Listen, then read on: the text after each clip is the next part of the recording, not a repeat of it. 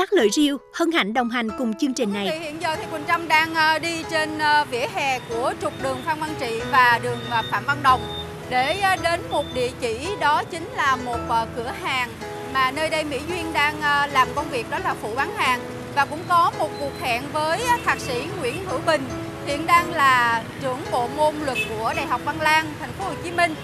À, chúng tôi cùng lên một chiếc xe buýt à, cùng đi hết mọi miền đất nước Việt Nam và đương nhiên là tỉnh Khánh Hòa của mình thì chúng tôi cũng thường xuyên ghé và đi để tổ chức chương trình cho thiếu nhi ở vùng sâu vùng xa.